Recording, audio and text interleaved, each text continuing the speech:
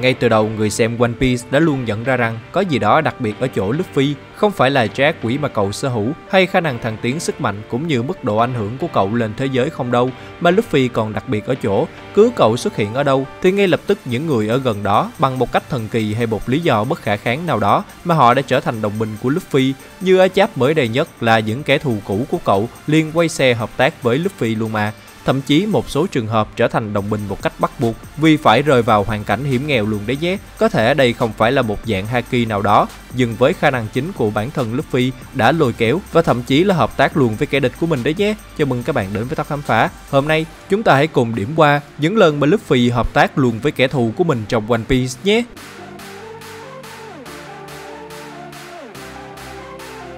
CB0 ở SH. Đầu tiên thì chắc chúng ta nên nhắc về lần hợp tác không thể nào hiểu nổi của Luffy mới đây rồi nhỉ. Không biết là tin người kiểu gì mà sau khi nghe Rob Lucy tiết lộ toàn bộ sự thật về mục đích của hắn, khi đến đảo SH này, Luffy đã không ngần ngại mở cổng cho Lucy mà không cần suy nghĩ gì cả. Thậm chí là trước đó, cậu còn tin lời của Kaku rằng hắn sẽ ngoan ngoãn chịu chói. Nếu như họ cùng nhau đánh bại Seraphim nữa cơ, tin người tới thế là cùng. Vậy nhưng, vì bản thân là một thuyền trưởng rất có trách nhiệm, nên Luffy đã ra điều kiện với Lucy ngay sau đó rằng, nếu như hắn ta không trở nên cây cú và bắt đầu tấn công những người khác, chỉ vì không thể nào đánh bại được cậu. Và từ đây chúng ta có thể thấy rằng, hóa ra Luffy cũng đã tính toán rất kỹ những trường hợp có thể xảy ra khi cậu mở khóa cho Lucy, nên mới nghĩ ra cách giải quyết tất cả những điều đó, bằng việc để cho Lucy thoải mái so kèo với mình ngay sau đó. Và chính cậu sẽ là người chặn đứng sự máu chó đó từ Lucy, để ngăn cản hắn không làm tổn hại tới những người đồng đội của mình và Vegapunk. Đối lại thì họ đã có thể thoải mái giàu chiến với các Seraphim mà không cần phải luôn bảo vệ cho sự an nguy của hai tên tù nhân đội trắng rồi.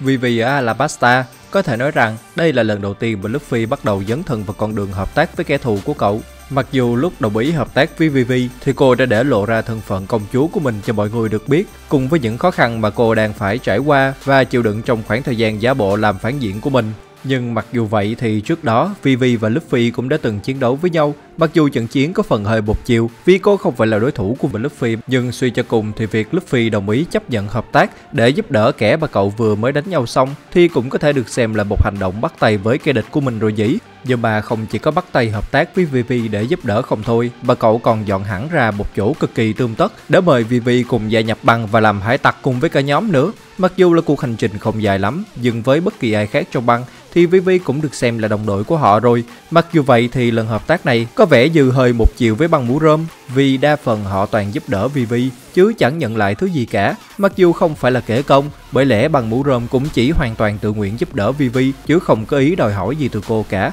Ngoại trừ Nami vì chúng ta đều biết rằng Vivi là một công chúa nên hẳn là gia đình của cô có rất nhiều tiền tài và kho báu nên vì vậy có thể thấy rằng trong lần hợp tác này của Luffy và Vivi thì cậu sẽ giúp Vivi lấy lại được đất nước của mình từ tay Crocodile còn bản thân và bằng hải tặc mũ rơm sẽ nhận lại số châu báu quý giá cùng một bọc thịt cực bự như lời cảm ơn chân thành nhất đối với họ.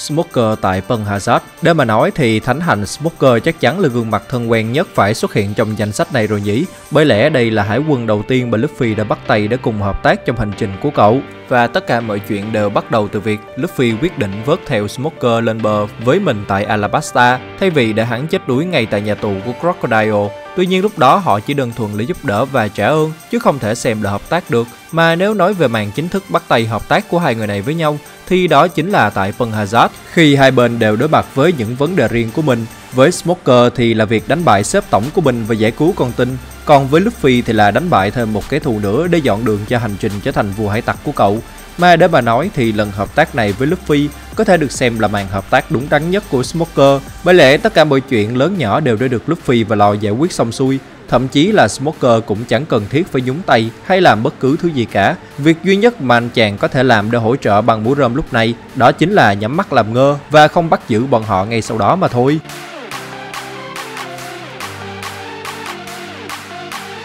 Bất ghi tại Impel Down, cũng giống với trường hợp của Smoker, thì lần hợp tác này của Bất Ghi lẫn Luffy cũng đều là vì lợi ích riêng của mỗi người. Và thêm nữa là vì họ cũng đang bị lâm vào tình cảnh ngặt nghèo, khiến bản thân bắt buộc phải hợp tác với người khác để có thể thoát ra ngoài. Hay nếu đúng hơn là tìm được đường đi xuống tầng 5 của Impel Down. Vì việc thoát ra thì chỉ có mỗi bất kỳ mong muốn, chứ Luffy khi đó thì chỉ muốn đi sâu vào bên trong mà thôi. Nhưng vì hắn ta không thể nào thoát ra được nếu không có sức mạnh của Luffy, nên là bất kỳ đành phải ngoan ngoãn hợp tác với cậu để mà có thể thoát được khỏi Impel Down ngay sau đó. Ngoài ra thì cũng là vì Luffy đang giữ bên cạnh tấm bản đồ kho báu của thuyền trưởng John nữa, nên bất kỳ mới ngoan ngoãn hợp tác tới thế, chứ còn không là mạnh ai người nấy tự lo luôn rồi. Và phải công nhận rằng, mặc dù trước đó họ đã từng đánh nhau, thậm chí là vì Luffy mà bất kỳ đã bị tống giam vào Impel Down nữa, nhưng có thể thấy thì sự phối hợp của hai người này quả là một thứ mà bất kỳ bộ đội chiến binh nào cũng đều nên học hỏi đấy nhỉ.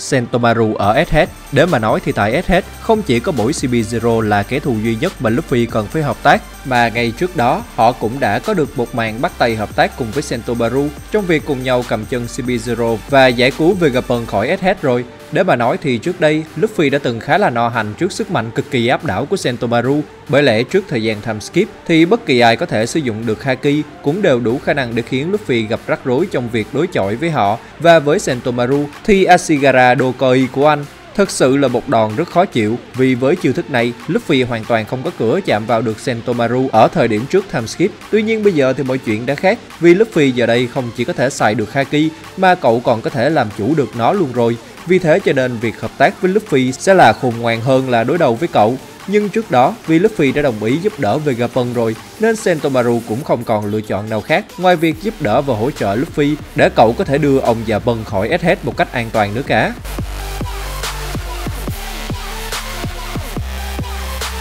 Bellamy ở Restrosa Chắc hẳn chúng ta đều nhớ về Bellamy, tên lưỡi dài mang di, cực kỳ bố láo và rất khó chịu. Mặc dù sức mạnh thì không bằng ai, nhưng độ ngông và bố đời thì chẳng ai có thể so sánh bằng cả. Thậm chí là ngay cả khi đã bị Luffy gõ cho một nhát thật đau vào đầu, thì hai năm sau khi gặp lại Dressrosa, tên này thực sự chẳng có lấy một chút thay đổi nào cả. Thậm chí là hắn còn thảm bại hơn trước nữa cơ. Ấy vậy nhưng mà Luffy có lẽ là nhận ra được sự thay đổi của hắn theo thời gian và bằng một cách thần kỳ nào đó mà Luffy đã quyết định trở thành bạn và hợp tác cùng với hắn. Bên cạnh đó, điều bất ngờ tiếp theo chính là Bellamy ngay sau khi bị đấm cho một phát thật đau cũng tự nhiên quay xe và hợp tác với Luffy luôn. Và vì thế nên sau 2 năm cầm thù lẫn nhau, Bellamy và Luffy bỗng nhiên trở thành đồng minh của nhau. Mặc dù hắn không gia nhập vào hạm đội mũ rơm của cậu, nhưng tên này vẫn giữ một mẫu Viracard của Luffy để đến ứng cứu khi cậu gặp nguy hiểm kịp thời, cùng với lời hẹn hò rằng mình sẽ gặp lại cậu trong tương lai. Và từ trường hợp này nên, chúng ta mới có thể thấy rằng năng lực lôi kéo của Luffy đúng là đáng sợ khi cậu có thể biến một kẻ từng rất cầm thù mình trở thành một đồng minh cực kỳ chất lượng như thế này đấy đúng không?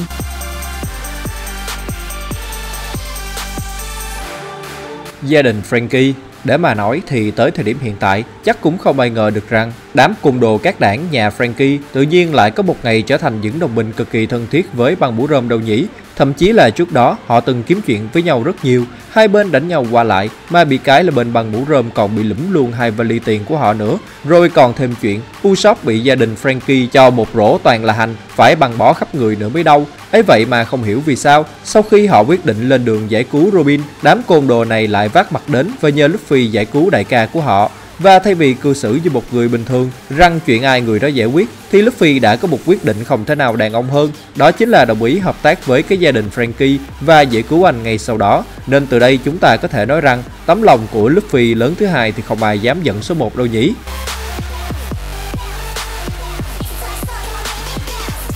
Lo ở phần Hazard Mặc dù phải thừa nhận rằng liên minh với Lo là liên minh bền vững nhất mà Luffy từng hợp tác, bởi lẽ họ đã cùng nhau đi qua bao nhiêu đại dương, đánh bại bao nhiêu kẻ rất máu mặt trên thế giới. Tuy nhiên, trong thế giới hải tặc thì liên minh chỉ có nghĩa khi cả hai đều có cùng một mục đích và lợi ích riêng biệt. Nên vì như thế mà sau khi trận chiến tại Wano kết thúc, Lo đã dứt áo ra đi cùng lời tuyên bố chúng ta sẽ trở thành kẻ thù sau khi chia tay Luffy, bỏ mặt lại tất cả những thứ mà họ đã trải qua cùng nhau và tiếp tục con đường trở thành hải tặc đơn độc của mình. Và đó là mình nói vậy thôi, chứ đối với Luffy thì họ vẫn là bạn của nhau mà thôi. Thậm chí là ở khoảng đầu của sự kiện trên Vân Hazard diễn ra thì mối quan hệ giữa họ không được tốt cho lắm. Khi Lo đã thẳng tay đổi tìm tất cả với người trong bàn mũ rơm và khiến cho giới tính cũng như tính cách của mọi người đảo lộn hết. Và hành động đó đối với người bình thường thì nó không khác gì hành động gây hấn hết. Và bởi vậy nên từ giây phút này, Lo được xem là kẻ thù của băng mũ rơm. Nhưng mặc dù vậy thì sau khi gặp riêng Luffy cùng với những người khác thì mục tiêu của lò mới được tiết lộ và anh đã không ngần ngại ngỏ ý hợp tác với Luffy trong việc đối đầu với một tứ hoàng và với tinh thần tin người quá đáng của mình chỉ bằng một câu hỏi nghiêm túc để xem lò có phản bội lại mình hay không, thì họ đã chính thức trở thành đồng minh trên con đường đánh bại tứ hoàng Kaido bách thú hung mạnh.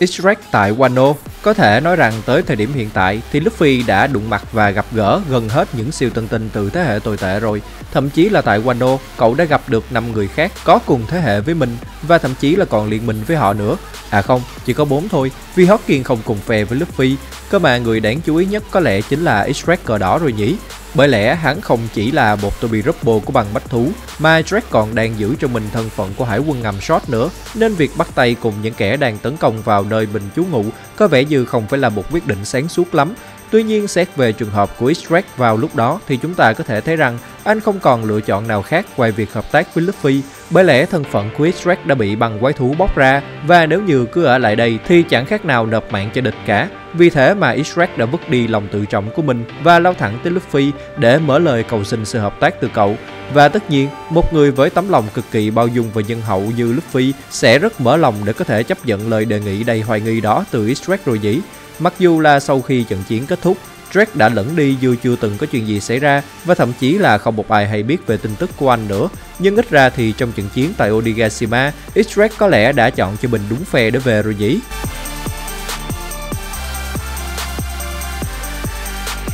McGee tại đảo bánh có thể nói rằng đây chính là lần hợp tác cùng có lợi nhất giữa những băng hải tặc với nhau, khi mà đồng minh của bản thân đều có thể ra tay với phe của Luffy bất cứ khi nào mà chúng muốn. Bởi lẽ Becky không chỉ là một hải tặc, mà hắn còn là một mafia nữa và hành động của hắn tại Zoo khi ép buộc Sanji phải đi cùng với tên mafia này thật sự là không thể tha thứ được. Nhưng mà cho tới nay thì khi Luffy đặt chân tới nhà của Big Mom và bỗng nhiên tên trùm mafia này lại ngỏ lời muốn hợp tác với cậu trong việc hạ gục mẹ vợ của hắn và vì kế hoạch của Becky là rất cần thiết, để Luffy có thể cứu được Sanji khỏi việc lấy vợ, nên là cuối cùng Luffy cũng đã đồng ý bắt tay với kẻ mà vừa bắt đồng đội của cậu đi và khiến cho cậu phải có mặt ngay tại thời điểm này. Nhưng mặc dù vậy, thì liên minh này cuối cùng cũng đã thành công trong việc thực hiện kế hoạch của họ, nên là cũng chẳng có điều gì đáng nói lắm.